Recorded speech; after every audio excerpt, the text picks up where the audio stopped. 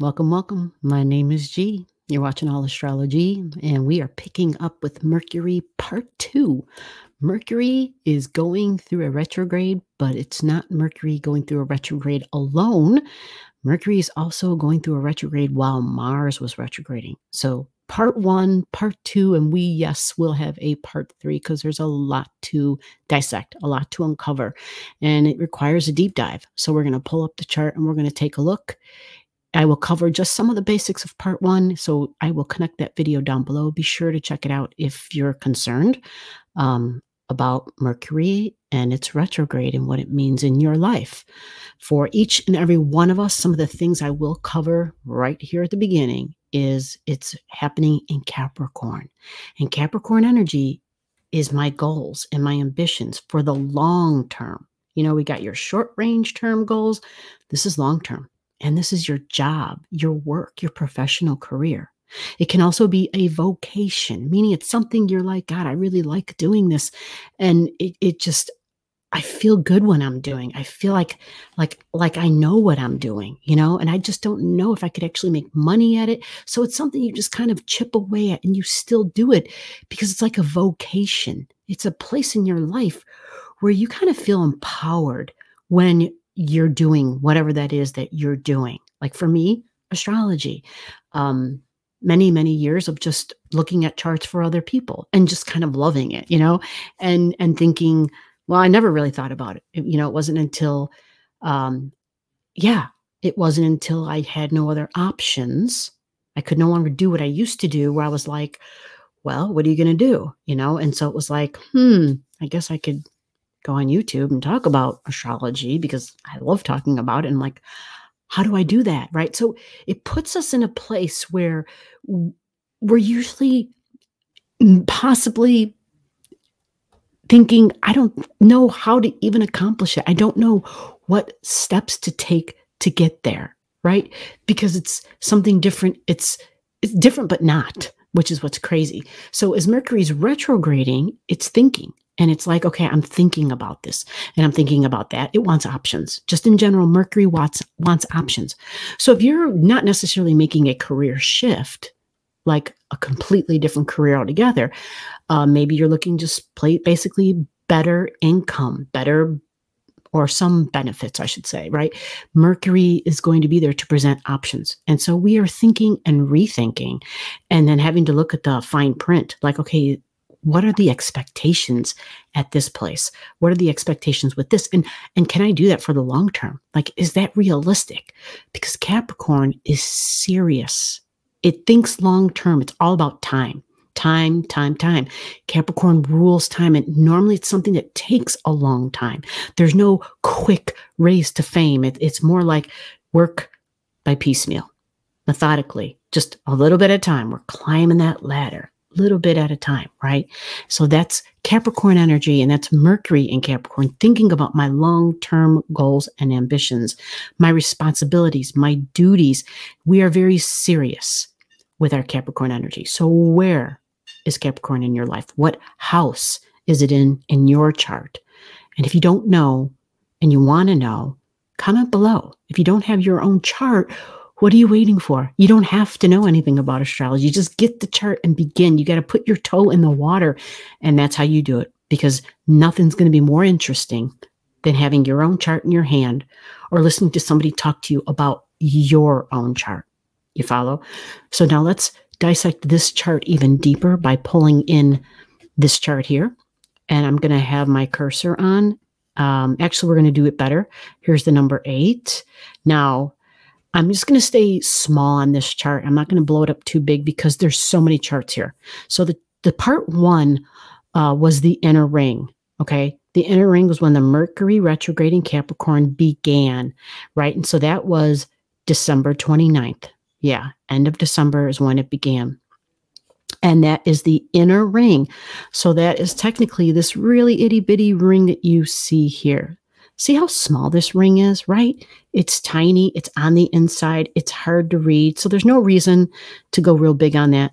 Uh, and again, that's covered all in part one. But if I go and look for it, we see that Mercury went to 24 degrees because it's in red and there's Mercury. Yep. and it's right next to Venus. Look at that. They're both together at 24. So that's where the Mercury retrograde began. And Venus is about my values, my money, how I receive, right? My income, it can be my love, but because it's in Capricorn, Venus is serious. She's like, wait a minute. Venus is thinking about her tangible assets here, assets, right? And values. And it's Venus and Mercury, the sisters, feminine energy together and they're both serious. They're both thinking about the long term goals and ambitions. They're setting their priorities. They understand it's not going to be something quick, but it's worth working for, is Capricorn. It's serious. It's my duty and my responsibilities. Okay. So now we're going to go to the next ring, which is this one, the second ring you see here. Okay. And so now I'm going to put this little arrow away and I'm going to leave it there because that's when Mercury retrograde began. We're going to start off with a new arrow. And it's this one right here. We're going to move it over here and go to January 18th, 2023. That is the middle ring. It's when Mercury retrograde ends. Retrograde just means Mercury was moving backwards. So if it's no longer moving backwards, it has to first stop. It stands still and then it moves forward again. That's the way retrogrades work. Let's find Mercury. Mercury began at 24, remember, on the first chart. Oh, I drew an extra line. I didn't need that. Mercury began at, oh, come on now. There we go. Like, play along, 24. And so we go look for Mercury again. You see Mercury? Right there. That's Mercury. And look what the degrees it's at eight degrees and eight minutes. And it's not in red anymore because the retrograde ended, right? Red, it's retrograding going backwards. Black, solid color, black, it is now going forward. So that happens at eight degrees, January 18th, 2023. Mercury stands still.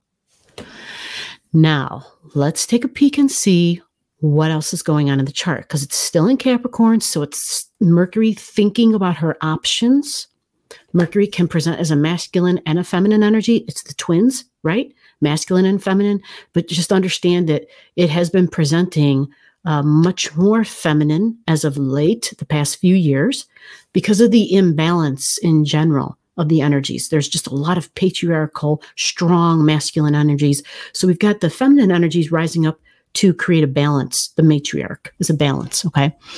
Uh, and so Mercury is paying attention to the goals and the ambitions. This is government business. This is big businesses, right? These are long-standing structures of our society. Uh, there were some great examples in another video, and I said, "Can you give me examples of of things that are long-standing structures, like physical buildings, or um, just organizations, right? Businesses. So we think of the post office that always pops in my mind right away. Uh, the, our government and the way that it's set up in those buildings, right? We think of all the historical buildings, the Capitol building. Um, and then we also can think of like there's long standing structures. You might think of hospitals, possibly, the buildings themselves. Uh, what are some other examples? I wish I could think of them right now, but I can't. There were some great examples in the other videos. Put them in the comments below for me. But yeah, physical structures that have been around for a long time and that probably are quite old because that's Saturn, quite old. It's a very serious, a very old thing because it's the tangible and the material, but it's built to last a long time. It's not supposed to be a throwaway. It's something that's built of high quality. I think of the CCC. Does anybody know who the CCC is? Uh, I know Boondocking with Dennis in his videos on his journeys. He goes to a lot of the uh, state uh, parks, in the park system in different states, and um, the CCC built a lot of of the shelter areas and just the buildings themselves that the rangers live and stay in on the park sites. And so these structures, you can see the quality in them. They're still standing and they look like they're going to last forever.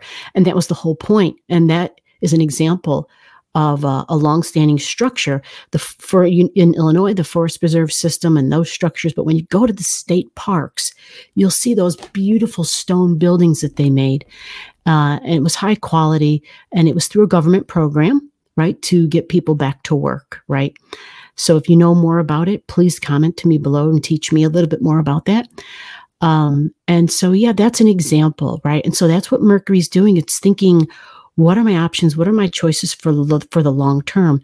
And your solution to figure out what else she's thinking about is what house is she doing that in?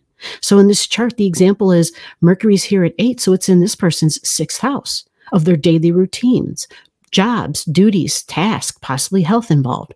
And then Mercury also, right? Look where it began or where it's going to end. It's going to end in their seventh house. For, so for this example chart, Mercury is going to be doing, uh, it's rethinking of options and choices in this person's sixth and seventh house. So six jobs, routines, possibly health, possibly pets. And then seventh house, significant one on one relationships. This is marriages, this is business partnerships, people you're willing to compromise for. Okay. So that's how you get more details to find out how this Mercury retrograde uh, plays out in your life and what area of your life. So below the video, I'll have all the degrees for those of you who like to pay attention to the degrees in your chart. Again, if you don't know and you want to know, just comment below.